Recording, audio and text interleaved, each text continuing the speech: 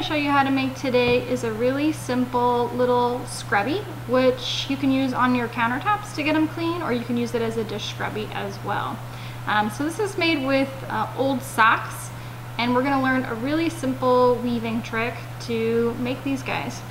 So you're going to need two socks if you want these to be two different colors woven together or you can use just one sock as well and it will all be the same color.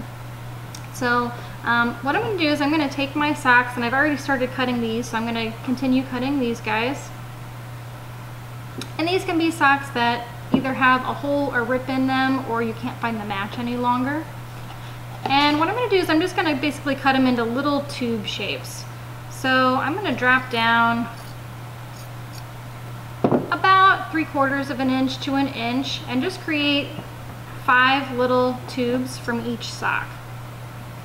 I'm kind of uh, skipping over the heel part here just so I get a nice even tube.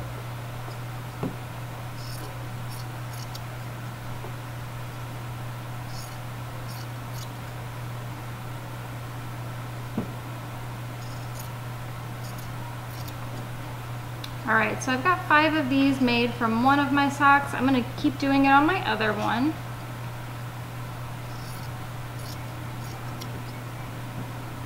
Again, I'm skipping over that heel.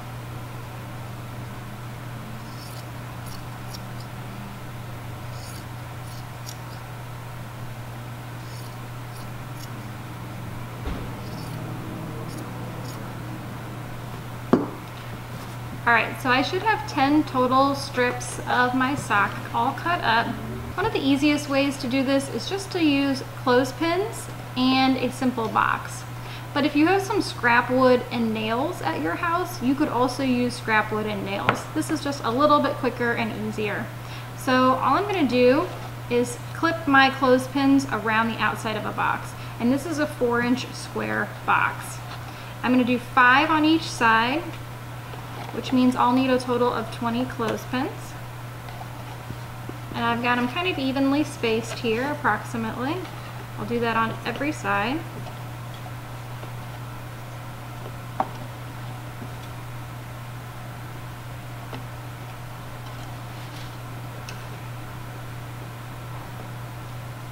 It's like we're building a little fortress, a little castle.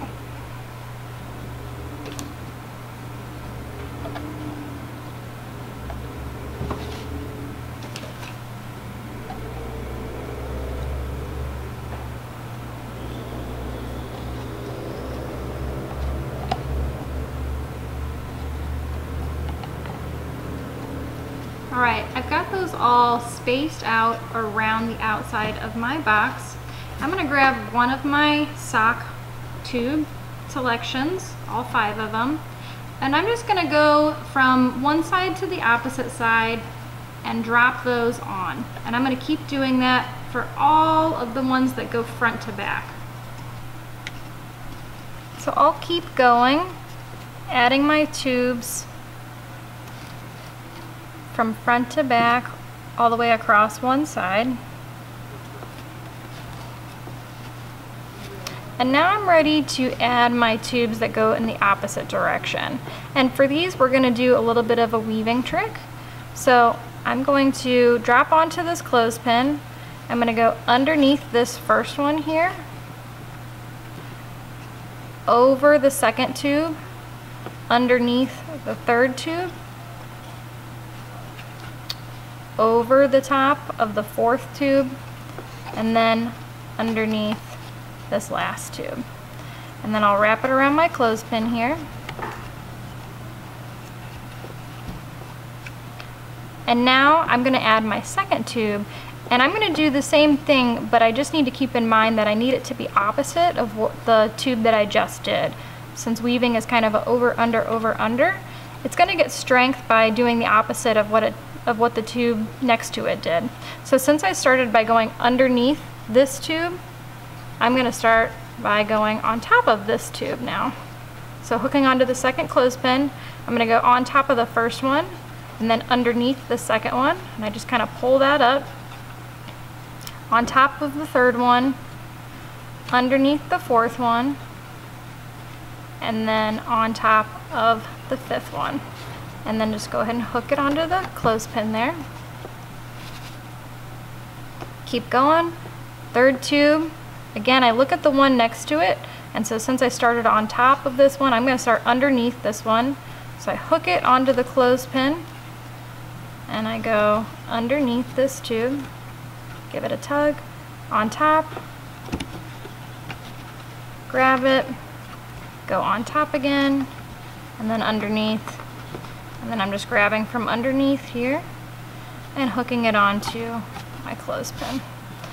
So we're starting to get a little bit of a weaving pattern going on. I'm going to kind of cinch it up on the side and adjust my clothespins that I've knocked out of place. I've got two more rows to do.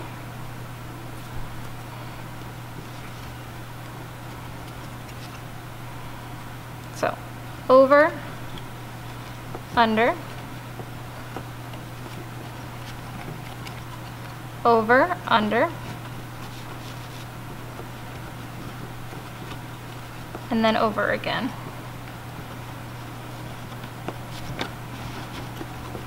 Kind of cinch those in and make space for my last one.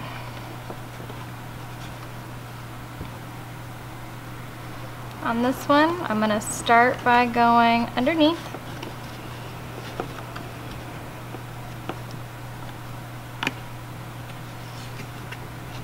Hold that nice and tight. Over, under.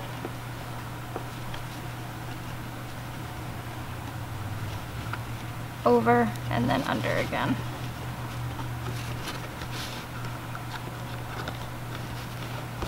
So now I've got my woven pattern all gridded out here. I'm gonna start at one of the sides and I'm gonna unclip two of them. And in order to get these to stay together, I'm gonna take my leftmost loop, I'm gonna loop it over this one and then hold this one in my hand.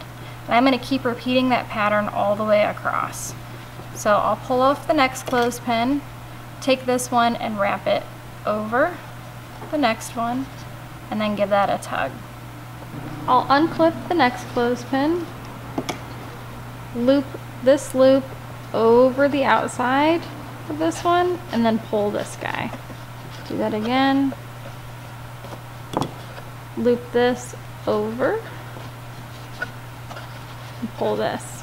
I'm going to keep doing that even when I switch corners here.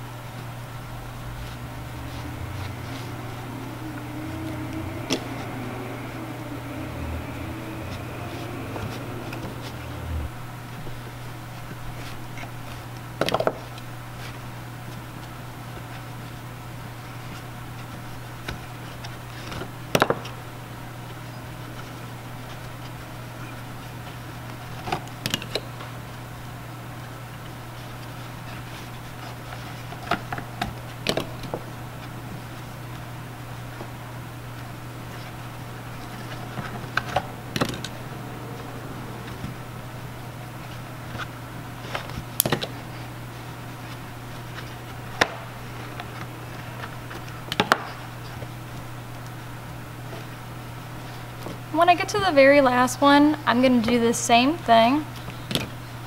Loop this one around my last loop. And then just give this one a nice big tug. And then you can actually use that little part as a hanger if you want to hang this next to your sink to dry off. And now I've got some little scrubbies that I can use to help clean my kitchen.